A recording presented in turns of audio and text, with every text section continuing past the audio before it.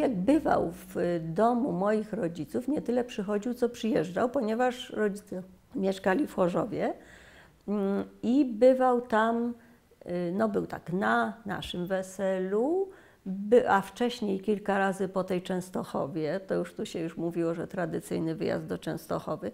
Do Częstochowy się bardzo trudno jechało, z Krakowa wtedy, bo nie było bezpośrednich pociągów. Trzeba się było dwa razy przesiadać. Albo raz, ale za to w Katowicach. I wobec tego powrotna droga się odbywała tak, że się wysiadało w Katowicach, przesiadało na krakowskie, a część, wszyscy co mogli, jechali do y, Chorzowa. I, I znowu to było takie wesołe, przyjemne spotkanie. Y, wujek rozmawiał z rodzicami, a myśmy coś jedli i tańczyli. Nawet taką y, śpiewkę wymyślono. Już gołąbki są na sole, a ja sobie rogendrole. To ja byłam po prostu zmartwiona. Naprawdę. Bo wiedziałam, że biskup to będzie dalej trochę. A na kanoniczą do wujka było bardzo łatwo pobiec i gadać. Natomiast y, potem zresztą się okazało, że wcale nie było trudno na, y, do pałacu. Tylko trzeba było trafić na moment, kiedy akurat był w Krakowie. Ale ja na przykład kiedyś poszłam, już nie pamiętam o czym miałam mówić, miałam jakąś rzecz widocznie ważną. Kazali mi tam siedzieć, tam się w takiej poczekalni siedziało kilku księży bardzo wyglądających ważnie i mm, ktoś mi tam jeszcze nie, jeszcze nie dziwisz, kazał siąść, no to siadłam. Wszedł wujek, otworzył drzwi, wypuszcza jakiegoś księdza, zobaczył mnie, mówi, o Zosia, ale poczekaj, bo jeszcze muszę wziąć tego ważnego księdza.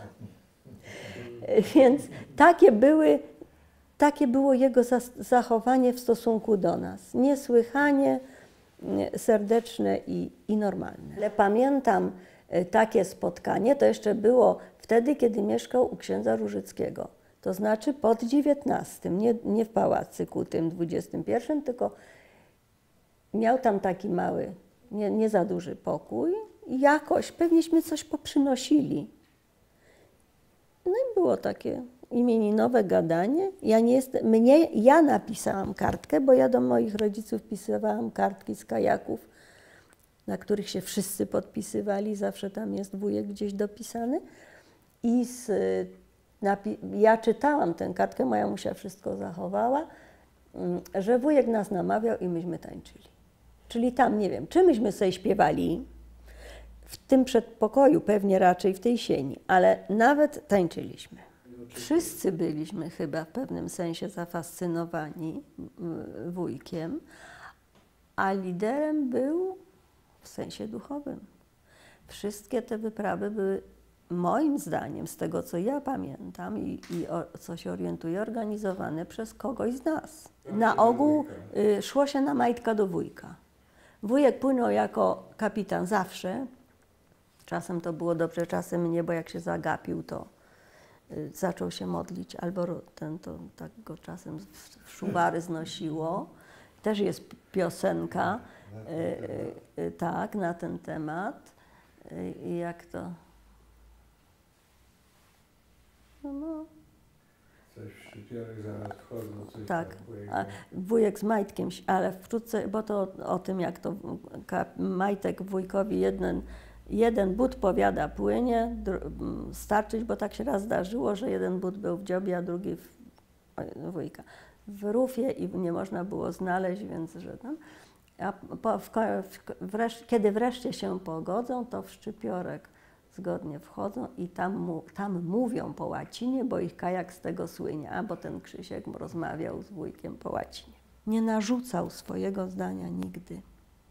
Tak jakoś to robił zgrabnie i płynnie, że człowiek nie czuł, y, młodzi nie lubią narzucania, nie czuł się takim jakimś okropnie, mm, jakby to powiedzieć, zmuszanym do czegoś. I był tak zwany Dzień Turysty. Wtedy się dalej nie płynęło, tylko się zostało, zresztą na, na wycieczkach w, górze, w górach też, tylko się zostawało na tym samym kempingu i były organizowane różne zajęcia w trakcie tego dnia turysty. E, Były mecze piłkarskie, o których ciągle już chyba pan słyszał. E, Co to wujek grał raz u żonatych, a raz u kawalerów. E, Że były pełne drużyny.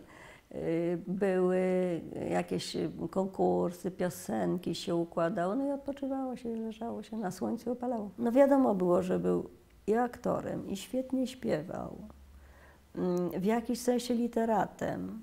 Nie, to nie było zaskoczenie. Ja byłam chowana mm, w, z ogromnym szacunkiem dla księży.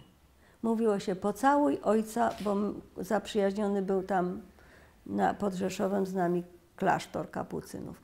Pocałuj ojca w rękę.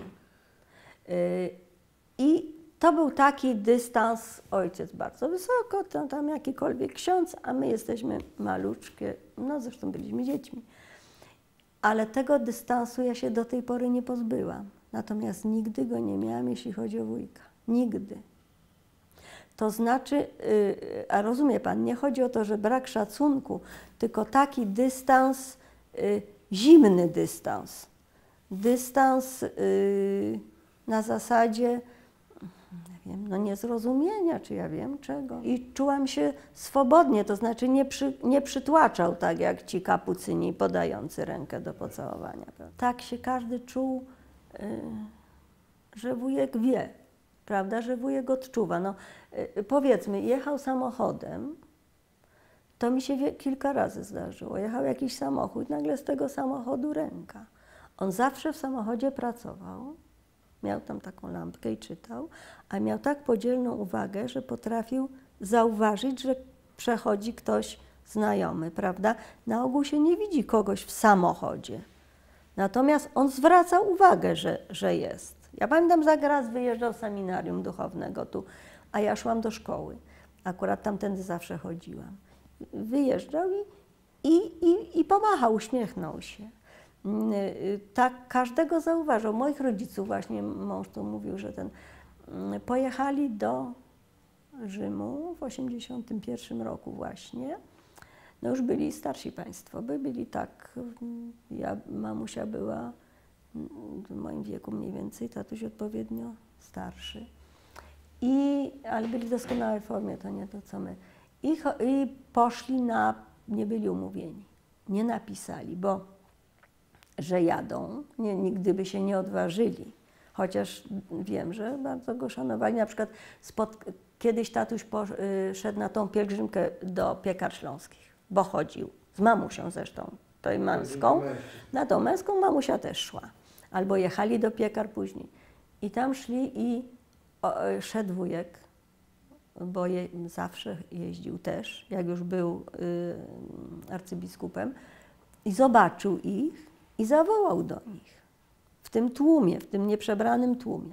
A w Rzymie to było tak, że stali w środę w czasie audiencji generalnej w jakimś tłumie i tatuś krzyknął Ojcze Święty pobłogosław. Nie wujku, tylko Ojcze Święty pobłogosław. Tatuś, Ojciec Święty się obrócił, ponieważ już minął ich, to się cofnął, przez tłum im podał rękę i powiedział wszędzie bym was poznał. Przywitał się z nimi i poszedł dalej. I na drugi dzień telefon do sióstr, a nie, powiedział powiedzcie Stasiowi, gdzie mieszkacie.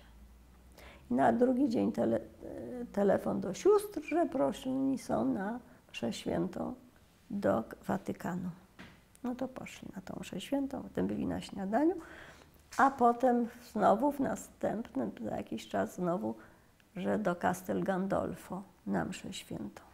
No i tu pewien problem. Państwo starsi w centrum Rzymu, do tego Castel Gandolfo kawał drogi, można pojechać tylko pociągiem. No to ma, zorientowali się, że pociąg jest o którejś tam szóstej rano. No to mamusia poszła do sióstr, żeby ją, to na Pfeiffer jeszcze było, żeby ją wys, wypuściły o, o piątej czy o której. Siostry powiedziały o takiej godzinie, to one furty nie otwierają. Na to mamusia im powiedziała, to my wyjdziemy przez okno. Siostra mało nie zemdlała, jak usłyszała, że te staruszki będą jej się przez okno tam tego, ale usłyszał to ksiądz, który tam był wtedy przydatek i powiedział, to ja was zawiozę, bo każdy ksiądz jest interesowny i ja przy tej sposobności sobie własną tam, no i zawiózł ich. Ale w każdym razie właśnie taki był. Najpierw wiedziałam tylko, że mądry ksiądz, który chodzi na takie cieczki, że jest takie towarzystwo i który mieszkał, jest u świętego, to znaczy, który u świętego Floriana prowadzi rekolekcje. Mm, mieszkał na kanoniczej. Potem, potem powoli to do, do, do, docierało do człowieka, kto to jest. Ale na początku to była tylko po prostu duchowny, specyficzny, fantastyczny ksiądz. Bardziej przeżyłam, jak został biskupem, niż jak został papieżem. Mm, dlatego, że właśnie wtedy miałam wrażenie, że całkiem odszedł. Chociaż wrócił z tej Warszawy do nas na kajaki i absolutnie był taki sam. Absolutnie te ostatnie dni był taki sam. Y, także się tego nie odczuło, prawda? A potem była Częstochowa. Y, co październik jechało się do Częstochowy, co to do Chorzowa też w międzyczasie. I była Częstochowa, byli też moi rodzice, była ciotka Rygierowa chyba. I, mm, i na tej, i w czasie tej, tej u Urszulanek chyba, czy u jakichś innych sióstr nocowaliśmy, bo to było wtedy z noclegiem. I potem było śniadanie po mszy świętej w kaplicy jasnogórskiej. I wujek wszedł na to, siedział jakoś koło moich rodziców i przyszedł na to śniadanie, wstał i powiedział, wujek zostaje. Bo, bo czyli trochę tak tego, jak tu mówić. E, prawda, ekscelencjo, no, no, no nie wiadomo, a wujek zostaje. I tak został, że ja, no ja Ojcze Święty chyba nigdy nie powiedziałam. Zawsze Może, tak, no po prostu nie, y, no na przykład jak byliśmy na tej ostatniej, no to wtedy, kiedy mnie ściskał, to ja y, podeszłam do niego, runęłam na kolana i powiedziałam wujku. I nic więcej nie potrafiłam. A jeśli chodzi o to przeżywanie tego, no to taka mała ilustracja. Mm, jakśmy się dowiedzieli, że idziemy na, to, na ten obiad, to było na, na raty. Myśmy poszli w pierwszej, bo Jacek organizował, mm, w pierwszej grupie. No tośmy wchodzili, cisza, nikt nic nie mówił. Gromada takich przejętych takich ludzi, że aż im się nogi uginały. Ci tam salutowali, ci Mm, Szwajcarzy, wspaniałe schody, e, winda, jeden z drugim tacy, jacyś tamten, a my taka za, zastrachana gromadka, cisza straszna. Potem weszliśmy do biblioteki, ustawili nas rzędem, Jacek pierwszy. No i znowu w tej bibliotece tak stoimy, dosyć przerażeni. Wujek otworzył drzwi, czy dziwisz, otworzył drzwi, jak powiedział Jacek, Zosia, a myśmy stali jako pierwsi. No i wtedy już się to trochę rozładowało, podchodziliśmy, potem był obiad, potem wyszliśmy, wygonił już dziwisz nas troszkę przed tego, wyprowadzał, pokazał nam jeszcze tylko kaplicę, tą w Watykanie prywatną i chwileczkę się tam, każdy się mógł pomodlić. Potem jakśmy zaczęli schodzić, to jak gromada rozdokazywanych dzieci. Tak nas roz, roz rozładowaliśmy się, tak, wszyscy, stare pierniki i nasze dzieci trochę młodsze, ale dzieci małych nie było w tej grupie. Szliśmy wszyscy i nagle zrobił się rejwach. Najpierw zrobił, nagle zrobił się hałas. Zupełnie po prostu wyjście od, od wujka, prawda? Już nie, nie papieskie, tylko od wujka. Radość niesłychana i potem zdjęcie na dziedzińcu Damazego E, wszyscy mieli aparaty, zawiesiliśmy na jednej y, uczestniczce najmłodszej te aparaty, ustawili się i ona o, robiła zdjęcie, odkładała aparat, brała następny, odkładała i tak. I byliśmy zupełnie, y, y, zupełnie, no, jakby to powiedzieć, w euforii. Nawet na tym, w Pałacu Biskupim to, to był właściwie dosyć łatwo dostępny i robił spotkania i tam mieliśmy msze święte i tam w tej kaplicy bardzo często. I robił spotkania i robił kinderbale. nasze dzieci z tam e, z, z rodzicami schodziły się i on się z nimi bawił. Wyłaziły mu na kolana. Yy, Nie przejmowali się nim zupełnie, zresztą szalenie lubił dzieci. Szalenie lubił dzieci, zawsze. I, i taki był ciepły dla dzieci. I, mm, yy, i, I chyba dni skupienia tam też się odbywały, no i śluby, i chrzciny, prawda? Ciągle tam jakieś. Już jak był tam, to już tam były. Bo przedtem to w różnych miejscach. Na Wawelu dawał ślub, w różnych miejscowościach dawał ślub. Był świętego Szczepana i gdzieś tam jeszcze Floriana i gdzieś tam jeszcze różnie. I przychodził tutaj, był tu na przykład, bo jak Jacek mówił, zawsze miał jakieś takie powiedzonka, to mieszkanie było takie wielkie zimne. I jak się syn starszy urodził, to była tak zwana zima stulecia wtedy, a to mieszkanie było jest zawsze zimne, bo to jest taka wysokość i parter, ale wtedy było przeraźliwie zimne. I wobec tego, żeby jakoś funkcjonować, tośmy się wszyscy tłoczyli w jednym pokoju. No i oczywiście tam się suszyło pranie. I ni z tego nizowego kiedyś dzwonek, zupełnie niezapowiedziany, stoi wujek w drzwiach. Już biskup. Ale nie było widać, że biskup on nigdy nie nosił tych, tych fio- fioletów zanadto. Sutannę miał taką dosyć wyszmelcowaną, taką wybłyszczoną, już biedną, e, tą codzienną. I już nie mówiąc o dziurach w skarpetkach na kajakach. Ale, mm, ale wchodzi i wchodzi tutaj, żeby nas od, odwiedzić. No więc ja go do tego jedynego, cie, w miarę ciepłego, przez nas nagrzanego pomieszczenia. Ten. No i e, tak mówię, przepraszam wujku, ale tu wisi, wiszą pieluchy. E, Wojtka, a wujek patrzy, mówi, ale to chyba pieluchy wszystkich pokoleń, bo tam było pranie dosyć takie różnorodne. Taki był, taki był właśnie. To nie była moja parafia, tylko to była parafia moich rodziców, bo już wtedy byłam tutaj zameldowana w Krakowie u, u tej stuletniej obecnie ciotki moją parafią było Kościół Świętego Szczepana. E, Ale y, pa- ślub był tam. Ja tam byłam bierzmowana i, i, i przez kilka lat byłam tam w tej parafii. I pojechał i pamiętam, przy, mm, on zawsze się zjawiał dużo wcześniej przed mszą świętą w kościele i klęczał i się modlił. To jest ogromny kościół ten świętego Szczepana, świętego Antoniego, w którym myśmy brali ślub, bardzo długi. Jak myśmy weszli do, do kościoła, to on już klęczał przy klęczniku, nie ubrany, tylko w fioletach, bo oficjalnie proboszcz zresztą chciał go, pytał się mojego ojca, czy ja go mam procesją przyjmować. Więc tatuś powiedział od razu, nie, na pewno nie. No i, i, i klęczał tam i myśmy szli tak do, do takiej zwiększającej się fioletowej postaci. Jeszcze na domiar złego, myśmy tam na Śląsku, nie mogłam się pokapować, jak to jest z tymi wszystkimi tymi. Podeszliśmy do ołtarza, klęknęli na stopniach, a wuj zaczął kazanie. I na klęcząco na tych stopniach ołtarza całe kazanieśmy wysłuchali. Mm, Ja byłam właśnie tak, jak to ten skończyło się w szpitalu, więc byłam w dosyć złym stanie i może to było widać na mojej buzi. W każdym razie powiedział mi, potem zastanawiałem się, kto kogo przetrzyma. Był obiad, to było bardzo zabawne. Y, Po, posadzono nas przy takim y, prostokątnym stole. Na dłuższym boku siedział Ojciec Święty, ja siedziałam obok.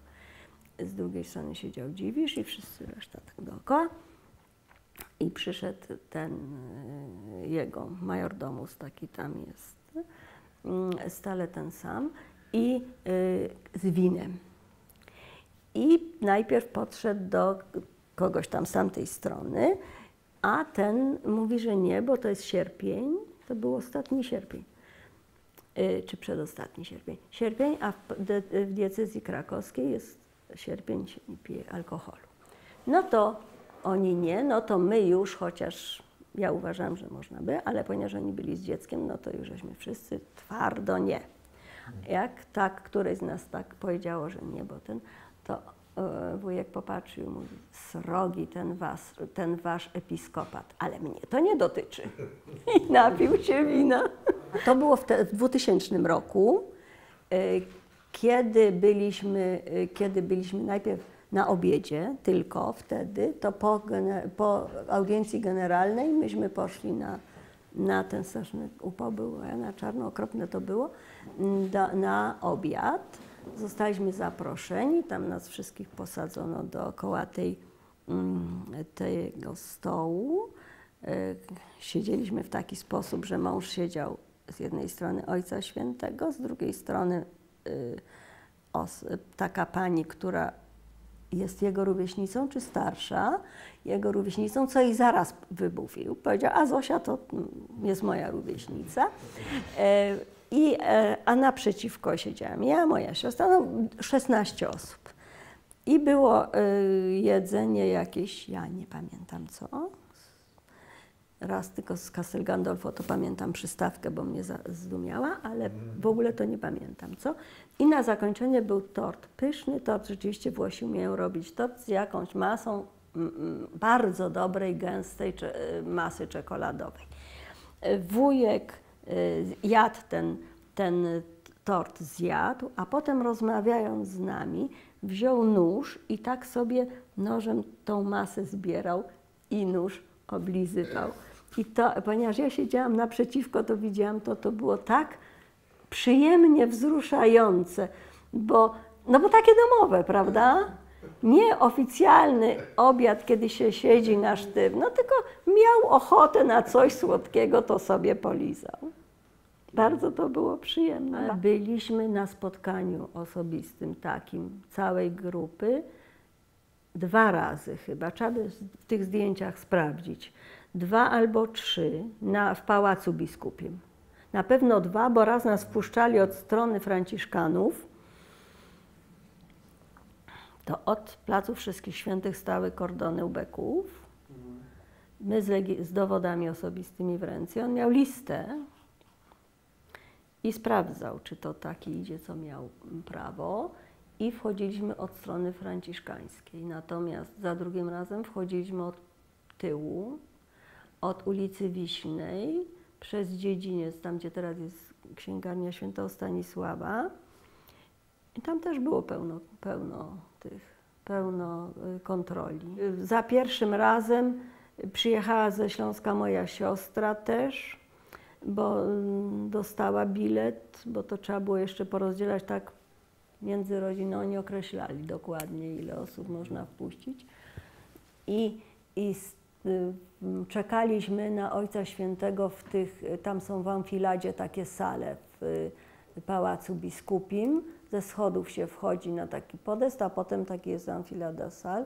I myśmy tak stali rzędem, rzędem, rzędem staliśmy i y, mm, witali się no, w przeróżny sposób, a moja siostra klęknęła i pocałowała wujka w pierścień, a wujek na to, Majuka, ale się z ciebie zrobiła dewotka. I, to tkwi w pamięci i człowiek sobie to, ja wiem, y, prze, przerabia na bardzo poważne rzeczy, na bardzo poważne y, refleksje, prawda? Nie, że tylko się pośmiać, ale, ale i poważniejsze refleksje.